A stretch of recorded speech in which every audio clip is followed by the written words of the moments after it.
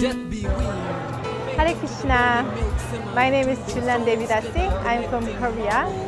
I came across Krishna consciousness at, uh, in 2013. And for me, Krishna consciousness is the way to happiness because at the time I was seeker, so I was seeking for happiness, and Krishna consciousness was the way.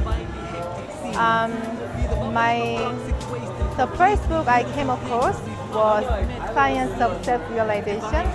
Actually, I was reading several other books of Krishna consciousness, but it was a scene and was a bit introduction. But Science of Self-Realization really convinced me that this is the way to be uh, happy.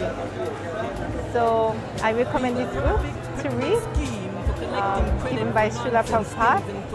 And yes, yeah, that was my story. Hare Krishna. Of a mirror that catches the shimmer of bliss, but not the truth of divinely hectic beings. He is and he isn't. Simultaneous oneness and difference, yet remains the truth of all divinely hectic things. Be the truth that is the truth.